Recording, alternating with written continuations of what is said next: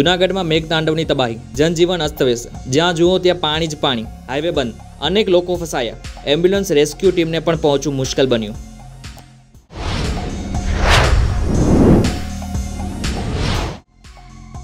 અમદાવાદમાં ટ્રાફિક સમસ્યા મુદ્દે હાઈકોર્ટ લાલ ગુમ. સરકારને કહ્યું, આ પ્રશ્ન દૂર કરવા કોમન સેન્સની જરૂર. મેઇન રોડના ફોટા સાથેનો રિપોર્ટ આપો.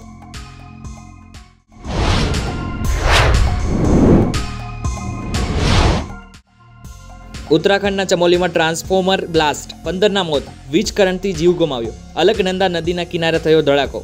ઘણા લોકો ઘાયલ થયા.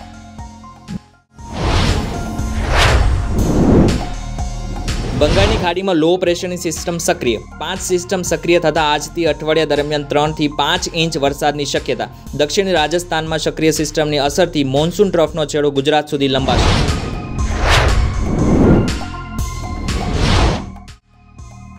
બ્રિટનમાં ત્રીસ ટકા સ્નાતકો પાસે સારી નોકરી નથી. પીએમ સુનેકે કહ્યું, જે કોર્સમાં વધુ ડ્રોપ આઉટ અથવા નોકરી મેળવવી મુશ્કેલ હોય તેવા કોર્સ બંધ કરી દેવામાં આવશે.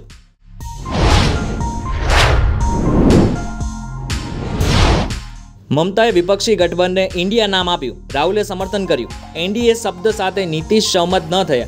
ટેગલાઇન ભારત જીતશે. આગળની રણનીતિ હવે તૈયાર કરવામાં આવશે.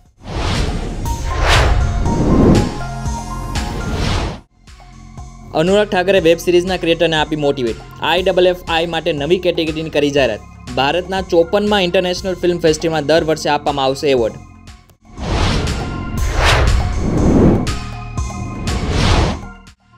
આઈએમએફ પાસેથી મળેલી લોન સામે આખરી શરતો. પાકિસ્તાનમાં વીજળીના ભાવમાં પ્રતિ યુનિટ પાંચ રૂપિયાનો વધારો કરવામાં આવ્યો. પાકિસ્તાનની આર્થિક સ્થિતિ ઘણી ગંભીર. ઉદ્ધવ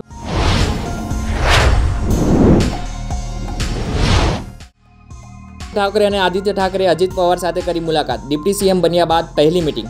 એનસીપીમાં ભાગલા પડ્યા બાદ બંને નેતાઓની અજીત પવાર સાથેની આ પ્રથમ મુલાકાત.